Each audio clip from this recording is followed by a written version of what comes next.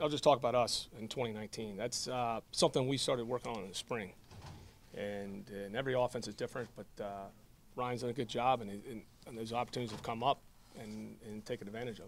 Can it be hard to go away from, two, two weeks ago, the AJ and Corey had season highs in targets and receptions.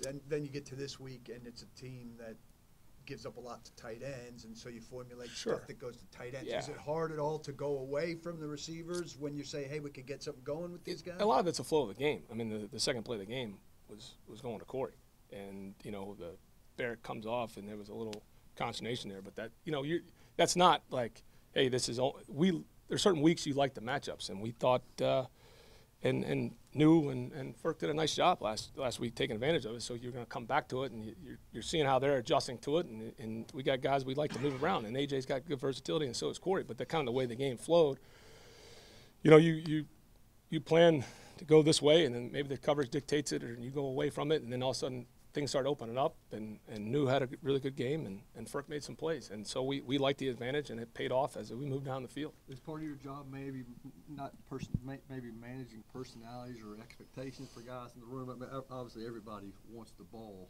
H- How do you work through that part of it, or is that even a part of the job? Oh, there, there, it's it's all part of it. I mean, you want you, you hopefully have the right guys, and they understand week to week, and we don't.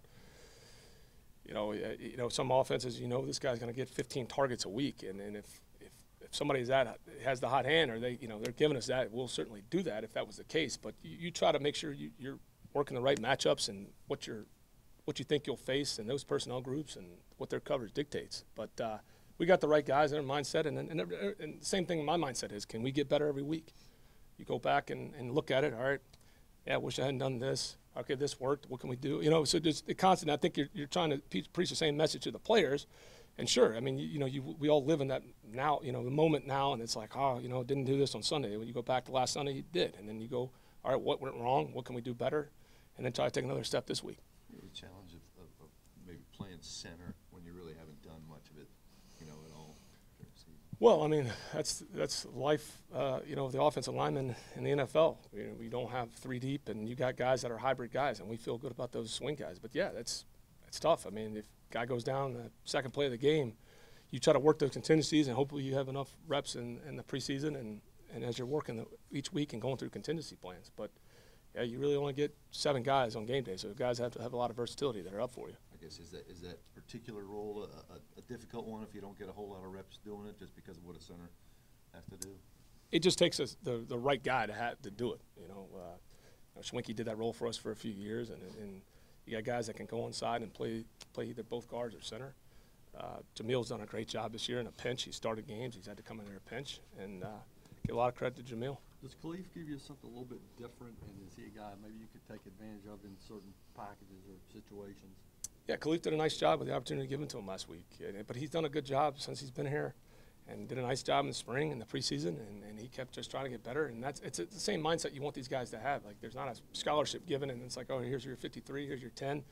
Here it is. I mean, those guys are working. And, and uh, Vrabes does a good job of setting that. It's- competitive at practice, and guys buy in and they try to improve. And so Kalif got an opportunity and uh, did a nice job with it. How difficult is it to scheme against a guy like Kuechly who seems to know not only what your formations are, but your checks and all that? I mean, Sure, it, it's a great uh, chess match. He's a he's a great player, and uh, it, it's a it's an awesome challenge. And that's the fun part each week is you go in there and, and no different than last week. Tam- Tampa had a unique challenge. Todd Bowles is a is a heck of a defensive coordinator, and go, we've gone against him a few times. And and uh, so the, the, and, and the players obviously out there, they got good players, good rushers, and but Kuechly's a, a really really good linebacker, and so we've got our work cut out for us. That word uh, decisive, uh, you mentioned earlier, comes up a lot with, with Ryan.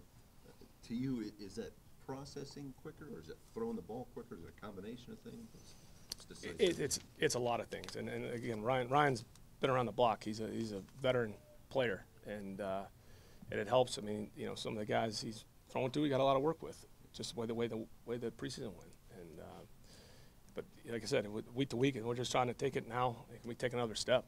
But uh, but it's a lot of things. You know, it's it's again where the matchups are, how they're playing us in certain things, and guys get a ball early and they get going, and, and how he feels in the flow of the game. I, I guess, are you seeing things happen quicker? Uh, He's done a nice job. He's done a nice job. Has evolved. You know, each quarterback that gets in there, you may call things differently, and and see how the flow of the game goes. But he's done a nice job. Derrick's getting hit early, often. I know there are some obvious answers to that. What's Right. maybe less obvious that goes into correct? Yeah, you know, a lot of times too, it, it, depending on the scheme you're running in the run game, you, you don't want negative runs. I mean, that's as obvious. Anybody could sit here and say that.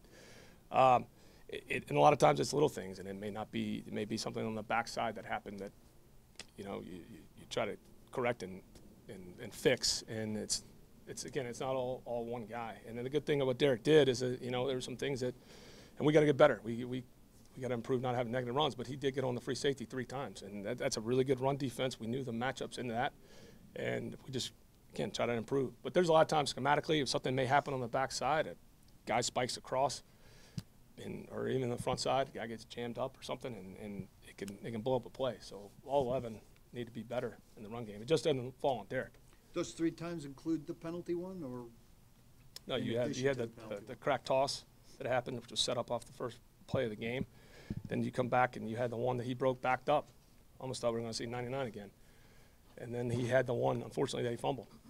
And uh, so, again, it was getting through those guys. Those guys, there's a good front. They're hard. Those guys were hard to move, and the, and the line did a nice job. And you know, you want to keep chipping away. What you want to eliminate is you don't want to be second and 12, and you know, and then incomplete, and you're third and 12. We've been in too many of those, and we're working week to week to make sure we, we stay out of those situations.